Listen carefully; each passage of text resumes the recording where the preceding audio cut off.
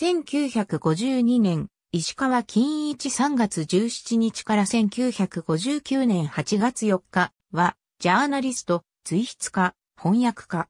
主に毎日新聞社に属した。東京に生まれた。父は動物学者の石川千代松、母は帝。帝は法学者の三栗臨床の娘である。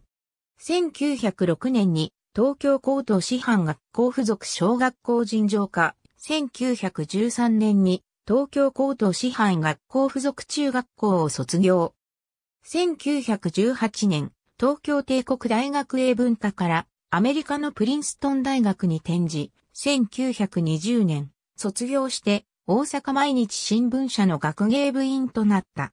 留学中、父、千代松の恩師、大森貝塚のエドワード・エス・モースの地遇を得、その縁が、モースの日本その日その日の翻訳、出版につながった。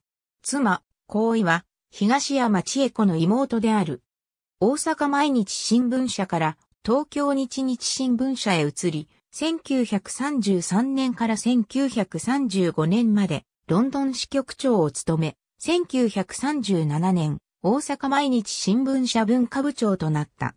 勤務の傍ら、随筆、翻訳の執筆に励んだ。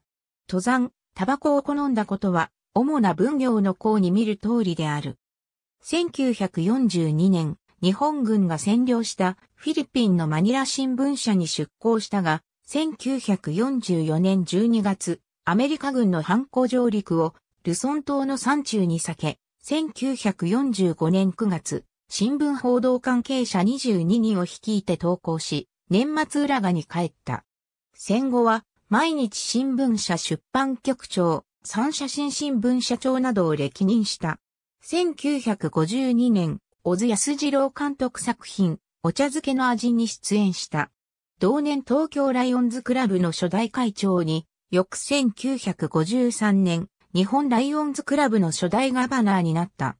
その年、バンウィックブルックス著、アメリカ文学史の翻訳出版により、日本芸術院賞を受賞した。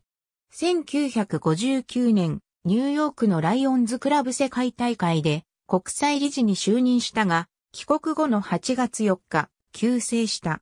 各列記の1行目に、初版、2行目以降に重版、改版などを記す。いろいろなウェブ情報のほか。ありがとうございます。